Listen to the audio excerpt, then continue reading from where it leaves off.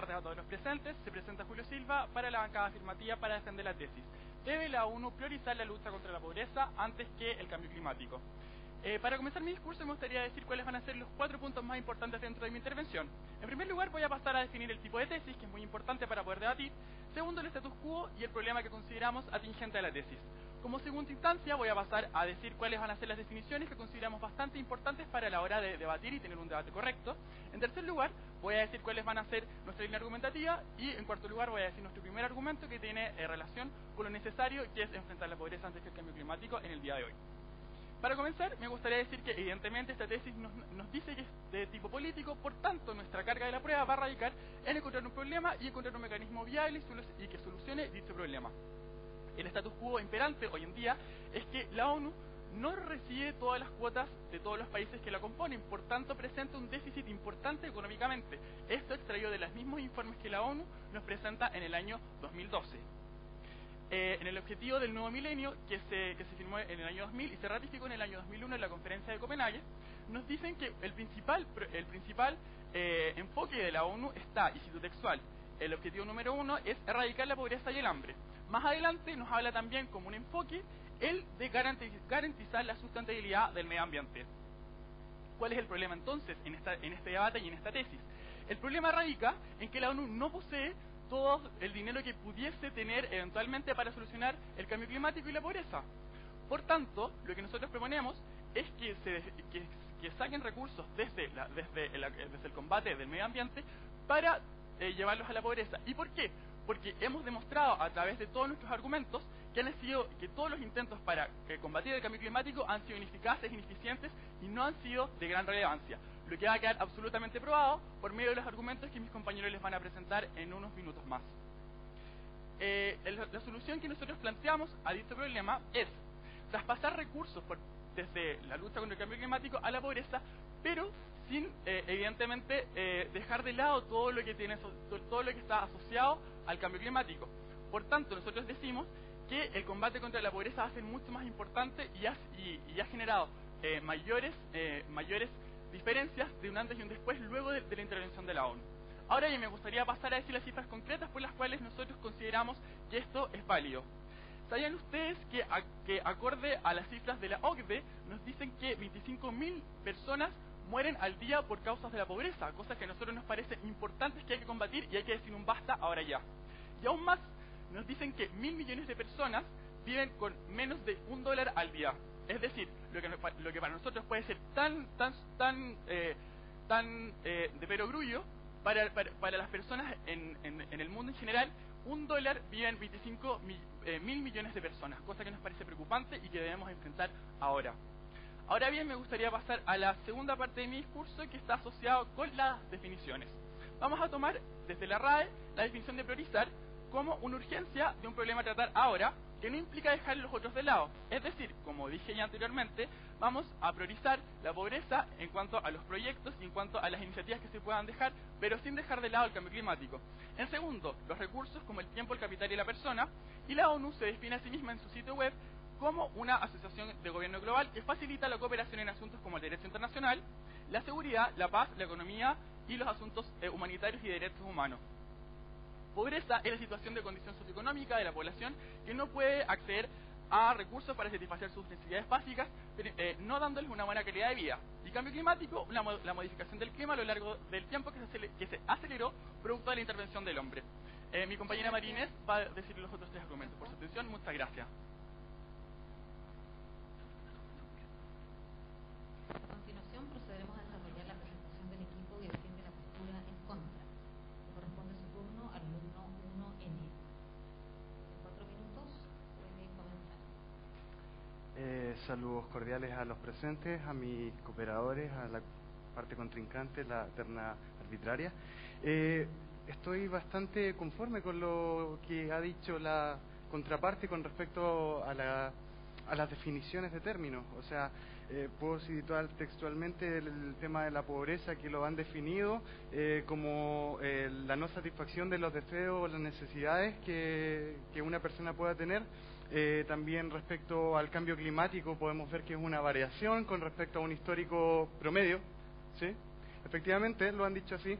Eh, priorizar, hablaron de la urgencia y entendemos que realmente sí tiene, se condice con lo que nosotros también planteamos. Pero nosotros queremos aterrizar eh, un poco más la tesis. Nosotros, ¿qué entendemos por lucha? Vamos a entender por lucha todo lo que la ONU pueda ejercer en su dominio, en su capacidad de hacer, para lograr sus fines. ¿Y cuáles son estos fines que nosotros consideramos que tiene la ONU? hacer los tratados internacionales, eh, la ayuda humanitaria y, en tercer lugar, la celebración de los, las conferencias. Ahora, dicho esto, nosotros queremos pasar a lo siguiente.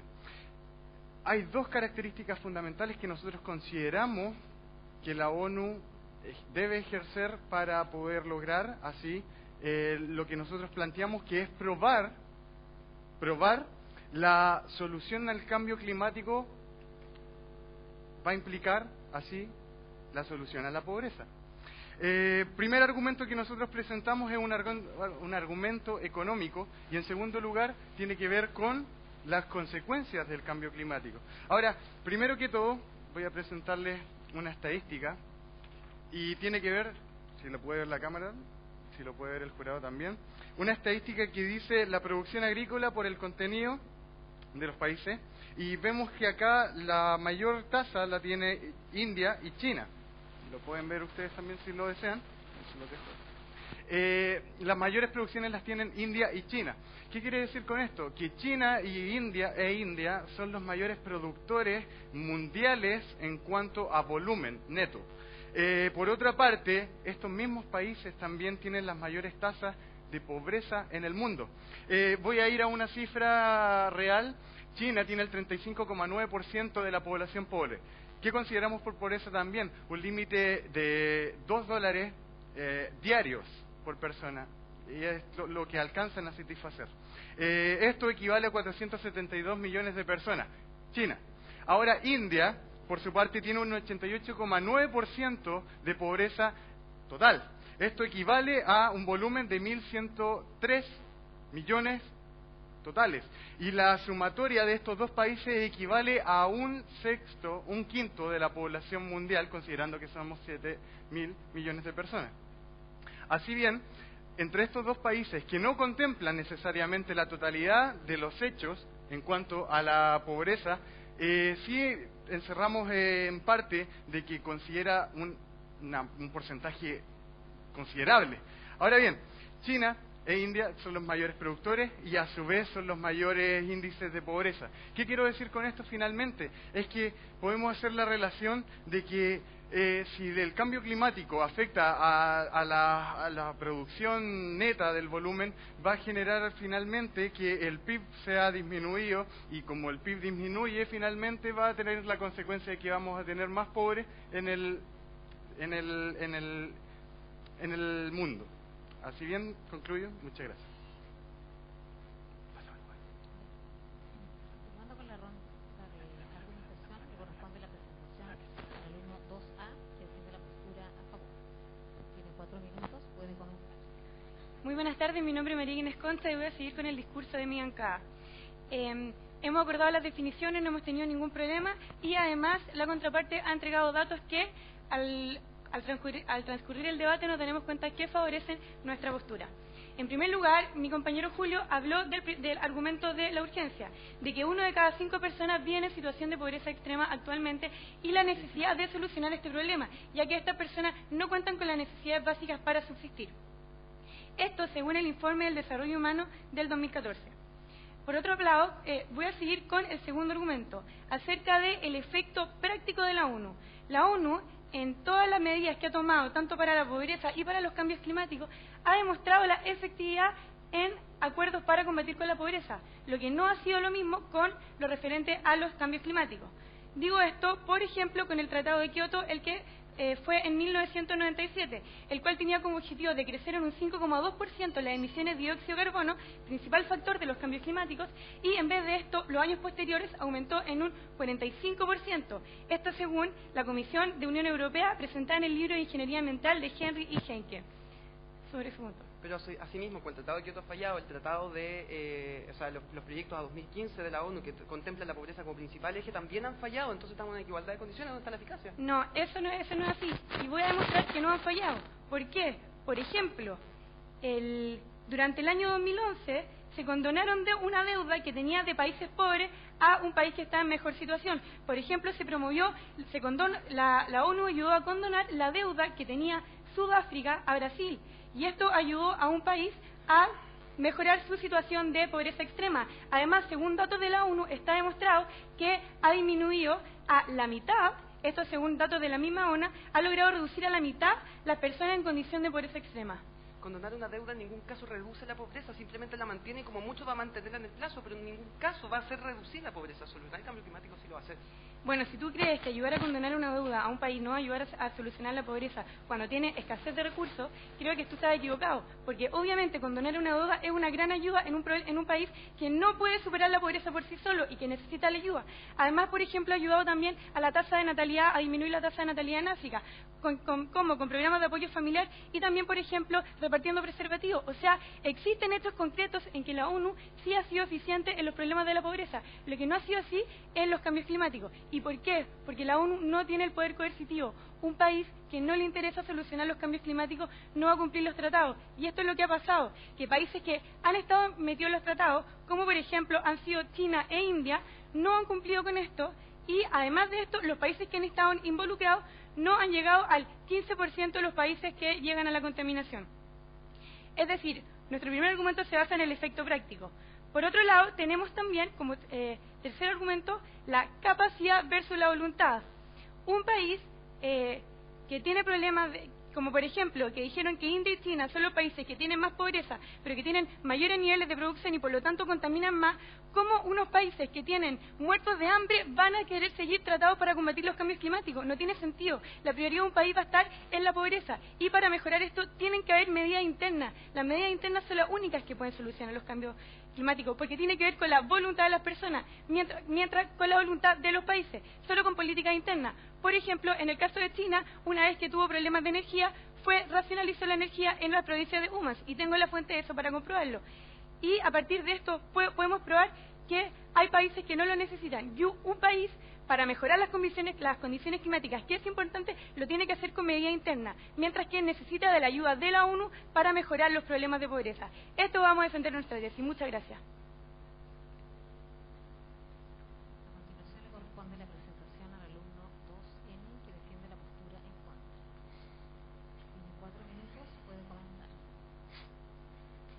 Señores del público y señores del jurado, tenemos claro que la ONU no tiene los recursos suficientes para solucionar ambos problemas y la pregunta que nos pone la afirmativa es, ¿cuál solucionamos primero, pobreza o medio ambiente? Nos dicen que la pobreza porque hay más pobres, ¿cierto? Señores del público, señores del jurado, el día de hoy como segundo orador les voy a exponer por qué debemos solucionar la pobreza, perdón, el cambio climático en vez de la pobreza, puesto que la solución al cambio climático va a solucionar el problema de pobreza y lo va a solucionar, no va a parar su, su avance, porque saldar deudas es eh, frenar el avance, pero en ningún caso solucionar a los pobres que actualmente son pobres. Ahora bien, tenemos que entender cómo se produce el cambio climático para entender por qué afectaría a la economía, ¿cierto? El cambio climático se produce por un desbalance en el, ingreso de energía respecto del ingreso de energía desde la Tierra y la atmósfera respecto del espacio. Cuando nosotros agregamos fuentes contaminantes, fuentes que eh, entregan energía al medio ambiente y no son lo capaces de evacuarlas del planeta por sus medios naturales, se genera un aumento en las temperaturas del planeta. Puede ser global, como la industrialización o el parque automotriz, o puede ser regional, como pequeños desastres que vamos causando a través del planeta que se focalizan en ciertos lugares, como la desertificación de eh, Brasil producto de la, de la explotación de la selva amazónica, como el desastre que ocurrió cuando desviamos los caudales del mar de Aral y los secamos. Generaron desertificaciones en su zona y generamos calentamiento global regional y global. Ahora bien, teniendo claro cómo se produce el calentamiento global, tenemos que ver sus consecuencias.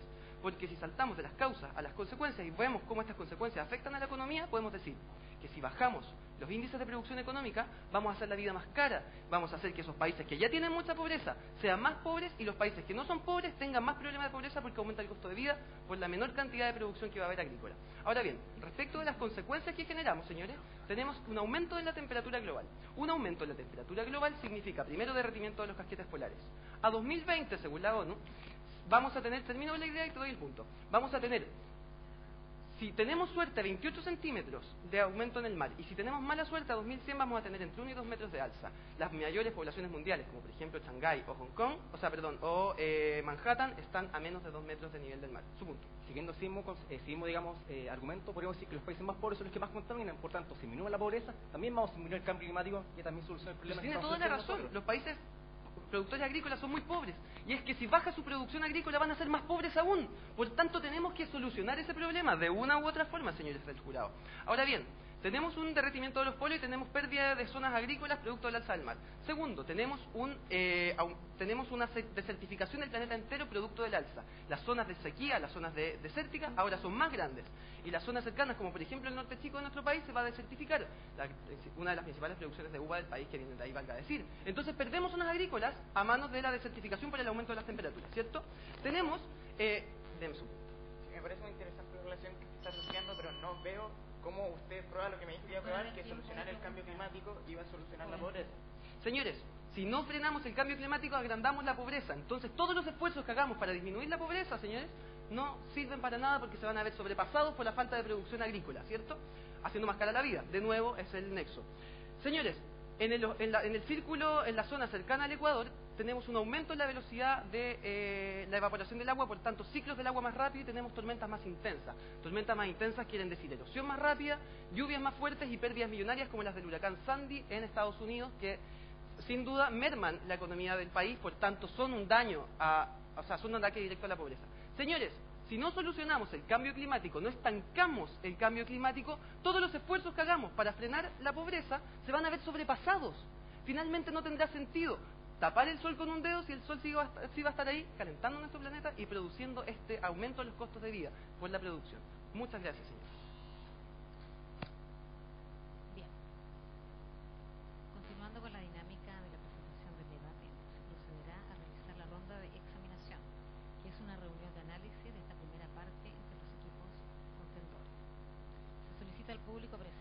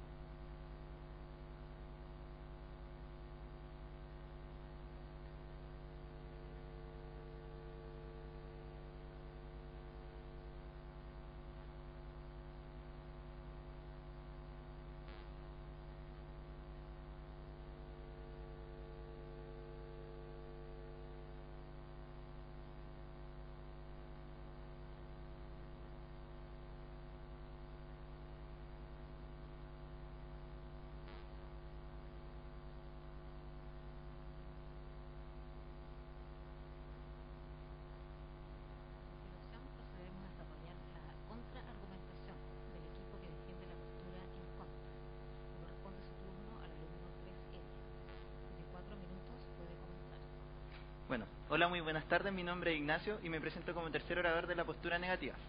Eh, bueno, como tal debería hacerlo, me voy a concentrar principalmente en las refutaciones, pero también a reconstruir el caso que fue votado, por así decirlo, por la contraparte para entender mejor el debate.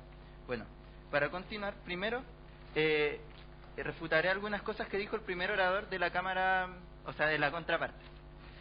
Bueno, primero nos habló de, a ver, del status quo y nos dijo que los, que los recursos que poseía la ONU eran bastante pocos, pero entonces tendríamos que elegir cómo priorizar estos recursos para qué, para el medio ambiente o la pobreza. Pero yo aquí les digo, ¿por qué no necesariamente en este caso el medio ambiente puede solucionar las dos cosas como lo comprobó mis compañeros? Porque son cosas que están muy ligadas. Si nosotros solucionamos los problemas de la pobreza, vamos a seguir con problemas del medio ambiente. Pero en cambio, si solucionamos los problemas del medio ambiente, vamos a solucionar los problemas de la pobreza. ¿Por qué sucede esto? Déjeme terminar la idea y le tomo el punto. ¿Por qué sucede esto? Porque como dijimos, eh, bueno, los dos grandes países agricultores en este caso, siendo China e India, en este caso China tiene una, un índice de pobreza del 35,9%, India del 86,9%, eh, tiene mucha gente pobre. Si, como todos saben, los cambios climáticos, en este caso el calentamiento global, afectaría la temperatura y de esta manera afectaría los cultivos, a largo plazo produciría pobreza, o sea, sería, estaríamos dando una solución, solucionando la pobreza a corto plazo, pero después el mismo cambio climático generaría más pobreza a largo plazo. Con el punto. Señor, respondo a su pregunta. En mi primera intervención yo le dije que los objetivos del, nuevo milenio ratificaban en Copenhague en el año 2001, la ONU se plantea como primer objetivo terminar con la pobreza. Y usted no ha sido capaz de votar ese argumento. Cifras textuales que salen de los informes de la ONU. Por favor, hágase cargo. Ya, bueno. Eh, sí, su primer objetivo en este caso sea eh, eliminar la pobreza, pero yo estoy diciendo técnicamente por qué nos conviene más eliminar, o sea, probar que por qué es más importante solucionar los problemas medioambientales que generan pobreza que preocuparnos solo de la pobreza que no generan problemas medioambientales. El el punto. ¿Por qué cree que una vez que un país logre solucionar los problemas ambientales para salir de la pobreza, se va a preocupar de no generar más contaminación y más problemas ambientales? ¿Qué le asegura si los datos y los hechos históricos han comprobado lo contrario? Bueno, pero es que no, la verdad no se puede obtener una certeza de nada y no siempre ha demostrado lo contrario. Es que, bueno, sinceramente, no significa que si no tenemos, a ver, no tenemos una certeza correcta de lo que puede pasar, pero sí nos podemos basar en lo que ya sabemos y las estadísticas actuales y lo que indican que si los problemas ambientales causan problemas en los cultivos y los grandes países, en este caso eh, China, India, eh, producción agrícola, tienen una gran cantidad de personas pobres y los la, a ver, podríamos predecir que los problemas ambientales van a causar problemas en el futuro. Al final no hay una certeza, pero sí podemos acercarnos a lo que es más probable. Bueno, para continuar, eh, la contraparte también nos habló, en este caso el primer orador, del Tratado de Kioto, que fue inefectivo en este caso, pero yo le digo lo mismo, porque algo que fue inefectivo no puede significar que los futuros tratados que hablen de políticas medioambientales sean, eh, sean inefectivos también. Eh, bueno, para continuar, en caso del segundo orador, nos dijo que una de cada cinco personas eh, era pobre y esto es una por eso requiere una solución urgente. Le encuentro toda la razón que la pobreza requiere una solución urgente, pero si destinamos todos los recursos a la pobreza, en este caso, y solucionamos la pobreza, estaríamos dejando de lado las cosas medioambientales y a largo plazo, de esta manera, como ya dije, los problemas medioambientales, al no destinar los recursos nos podría hacer jugar una mala pasada y ser peor porque va a afectar eh, la agricultura a las personas. Bueno, finalmente, otra cosa, el calentamiento global, en este caso siendo un problema medioambiental, no solo afecta a los pobres, nos afecta a todos. Entonces yo creo que solucionar los problemas medioambientales son políticas que afectan a toda la población. Por su atención, muchas gracias.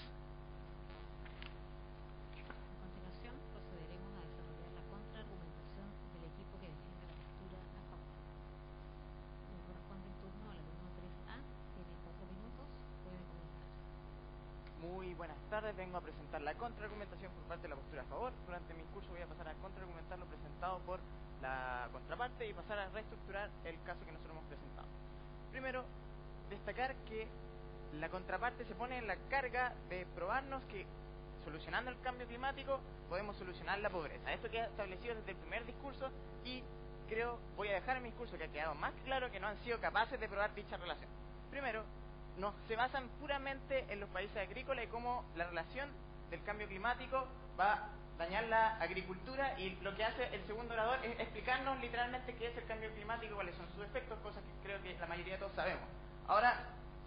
avanzamos un poco nos pensamos, ya los países agrícolas pueden ser los más pobres, pero los países pesqueros también tienen pobreza, los países mineros, los países turísticos, todos, todos. Y son, estos tipos de pobreza no solo vienen de la parte agrícola, y segundo, me gustaría definir que antes de la revolución industrial nosotros no teníamos contaminación, no teníamos cambio climático, no teníamos eh, empresas gigantescas, y pero sí teníamos pobreza, por lo tanto, claramente vemos que el cambio climático no nos va a solucionar la pobreza y no nos han presentado argumentos suficientes para probarlo, ¿sí?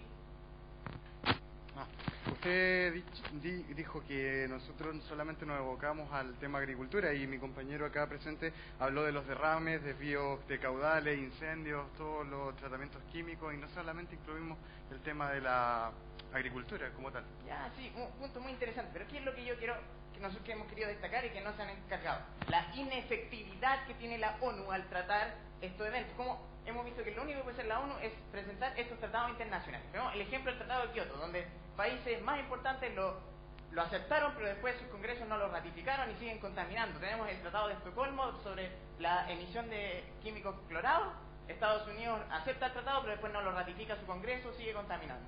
Sí. Señor, usted me dice que es más ef- eficaz la pobreza, solucionar la pobreza que el cambio climático, pero no me ha demostrado en ningún caso que Sí, sea sí, más ineficaz, más eficaz. Creo que sí ha quedado claro, ya que mi segunda oradora presentó casos variados de cómo la ONU ha podido eh, contribuir, cómo sus propias cifras nos dicen que la pobreza desde que se presentaron los objetivos del milenio se ha reducido en un 50%, cómo se han hecho medidas, cómo se ha ayudado a que se condonen deudas de países pobres por parte de países desarrollados y cómo esto ha finalmente progresado a tratar la efectividad en el Tratado del Cambio Climático. Ha logrado, o sea, perdón, de la pobreza. ¿Ha logrado la contraparte probarnos en algún caso de que la ONU tiene efectividad para tratar el cambio climático? No. ¿Hemos probado que tiene efectividad para tratar la pobreza? Claramente sí. Por lo tanto, queda, creo- que- queda más que claro que la, la prueba o la carga que se han puesto ellos mismos no han sido capaces de probar. Y además, como voy a pasar ahora a reestructurar mi propio caso, va a quedar claro que tampoco han sido capaces de encargarse de lo que nosotros hemos presentado. Hemos presentado tres argumentos, la urgencia, el efecto práctico y la solución interna. Ellos, ah, primero, conceden la urgencia, conceden que sí es urgente solucionar con la pobreza, pero dicen que se puede solucionar a través del cambio climático, cosa que, como he dejado en claro, no probaron. Segundo, pasamos al efecto práctico. Lo único que se atacan a este, dicen ya, que quizás las medidas que hizo la ONU antes hayan sido inefectivas, no significa que sean inefectivas en el futuro, pero ¿qué es lo que nosotros presentamos? No solo presentamos evidencia, sino presentamos una razón lógica de por qué es inefectivo y es porque la ONU no tiene poder coercitivos por sobre los países, no los puede obligar. Y se firmen o se firmen o no los tratados entre muchos países, las potencias gigantes que son las que más contaminan, igual pueden no hacer caso de los tratados, por lo tanto, más que claro que no hay un efecto práctico por parte de la solución del cambio climático y queda claro que sí hay efectividad en el Tratado de la Pobreza. Y pasando a nuestro tercer argumento, que ni siquiera se tocó por el contraargumentador, lo voy a repetir para que quede claro al jurado y a toda la audiencia, que el cambio climático es solucionado y se progresa a través de soluciones que presentan los mismos países. ¿Por qué? Porque para esto se requiere dinero, se requiere eh, progreso y por lo tanto lo deciden ellos mismos finalmente. Muchas gracias, por eso creo que ha quedado más que probado nuestra carrera. Continuando con la ronda de contraargumentación, le corresponde la presentación al alumno 4N, quien defiende la postura en contra. Tiene cuatro minutos, puede comenzar. No se puede erradicar la pobreza sin combatir el cambio climático. Cito a Ban Ki-moon el 16 de septiembre del año 2014, secretario general de las Naciones Unidas. Muy buenas tardes, mi nombre es Victoria Caqueo, cuarta oradora de la bancada en contra y mi misión será eh, finalizar este debate dando nuestra conclusión respecto a las afirmaciones de ambas bancadas. La bancada en contra, la bancada a favor dice que este se debe tomar como tema país. ¿Qué sucedería? Supongamos que una empresa, un país, elimina una empresa para evitar el cambio climático. Va a haber una menor producción, vamos a bajar la pobreza, o sea, va a aumentar la pobreza, perdón, y este problema se va a trasladar a otra nación, en la cual vamos a tener mayor producción, vamos a bajar la pobreza, pero vamos a aumentar el cambio climático en ese sector. Tenemos que generar una solución que abarque a nivel mundial, ya que es un problema a nivel mundial. No solamente abarca solo cierto sector, que tenemos países más pobres que otros. Ese punto. Ah, lo ahora. Eh, ¿Por qué dices que todas la- las soluciones que puede dar un país tienen que ver con disminuir la, la- la producción? Por ejemplo, en Chile están prohibidas las chimeneas, eh, eh, las chimeneas con leña y eso sí ayuda a combatir los cambios climáticos. Por ejemplo, en China, cuando hubo un problema, se racionalizó la energía y esto no ayuda a disminuir la producción. Muchas gracias. No he dicho que todos los métodos que se vienen a ocupar son para eliminar la industria. Existen otros métodos. Podemos crear conciencia ambiental durante las personas a través de la educación, que es un tema súper importante, pero que no vamos a... sobre ese punto. Sí, eh, nosotros mejoramos la pobreza usando todas las cualidades de las personas. En esa parte está la educación. Si las personas son pobres y no tienen educación, ¿cómo van a combatir el cambio climático si no saben qué? No saben lo que es reciclar, no saben lo que es ninguna de esas cosas. Bueno, primero mencionaste mejorar la pobreza, encuentro que es un término que se va a contranegar. Y la pobreza no necesariamente incide en que una persona tenga más educación o no. Se ha comprobado incluso en colegios municipales que pueden tener mejor calidad de educación y se puede decir que tiene un nivel socioeconómico bajo. Sacar los recursos de un cambio climático. Tenemos el cambio climático es un problema que puede ser a largo plazo, pero nos va a afectar a todos. No podemos priorizar la pobreza en ese aspecto y decir vamos a darle solución ahora. ¿Qué va a pasar con esas personas después cuando tengan problemas a la salud, a la economía? Vamos a generar igualmente pobreza en ese aspecto. El propósito del debate en sí es priorizar y no dar referencia a qué ha funcionado o no, como lo mencionaron ustedes acerca del Tratado de Tokio. Queremos priorizar el hecho de que este, este problema va a generar un terrible desastre a nivel mundial a largo plazo, a diferencia de la pobreza que generalmente ahora está generando problemas en una nación o en un grupo de naciones, pero no abarca totalmente a la población. Problema que el cambio climático va a generar a nivel mundial. Voy a citar nuevamente aquí, voy a citar nuevamente a Ban Ki-moon, que en esta misma ceremonia in- indicó, inversión acertada, abordarse de forma, perdón, inversión acertada en cambio climático ayudarán con toda certeza al crecimiento económico doméstico. Por ello debemos cambiar esta dinámica, que es algo en lo que muchos líderes mundiales están de acuerdo. Y es verdad, quizá el cambio climático está afectando mayoritariamente a los, a los productores mayores del mundo, como pueden ser China, India y otros países que generan una gran contaminación, pero es un problema a nivel mundial que va a abarcar desde nosotros, del país Chile, del, de norte a sur, hasta países como América del Norte, África, Asia. Es un problema a nivel mundial, queremos recalcar eso, y que va a afectar a largo plazo a personas sean pobres o no, porque es un problema que va a afectar realmente, no sea en la industria, puede ser en la vida de las personas, que no vamos a tomar en cuenta de que... Muchas gracias. Finalmente le corresponde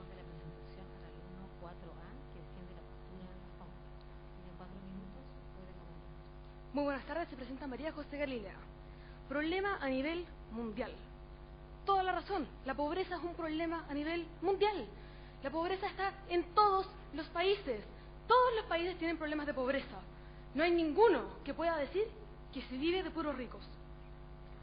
Quiero retomar algunos puntos que la, que la bancada contraria no ha tomado. Hablamos del efecto práctico de la ONU al combatir la pobreza cosa que no han votado, puesto que nos hablaron de que eh, condonar deudas no soluciona la pobreza, cosa que es mentira. Y aún así, si eso no fuera una medida, hemos hablado de otras medidas. Por ejemplo, educación, por ejemplo, el disminuir la natalidad.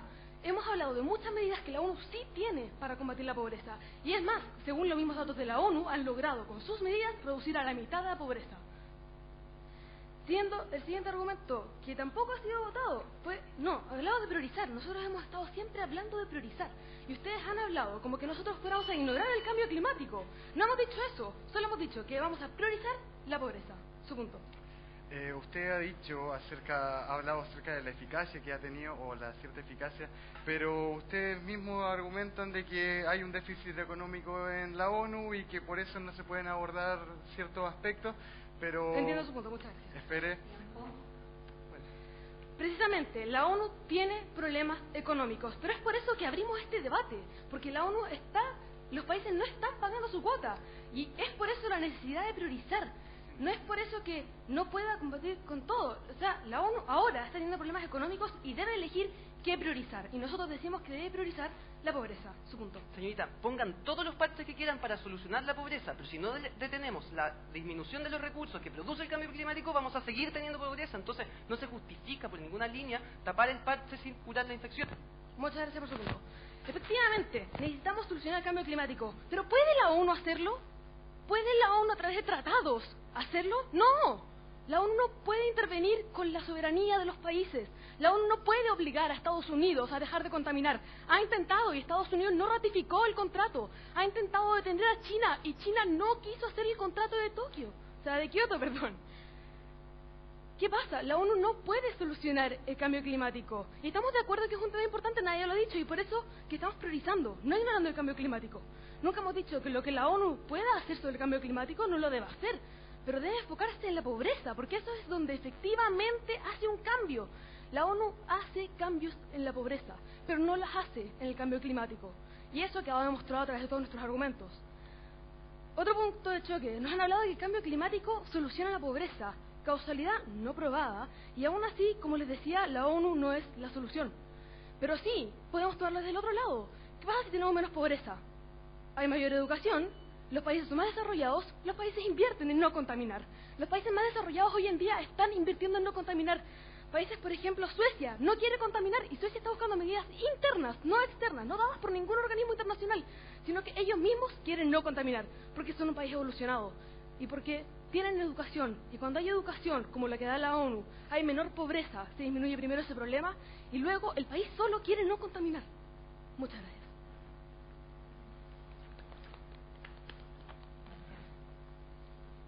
Finalmente, estamos ya terminando, ¿cierto? Eh, les deseamos mucha suerte en los resultados a ambos equipos. Les pedimos un aplauso para ambos, lo han hecho muy bien. Y antes de retirarnos,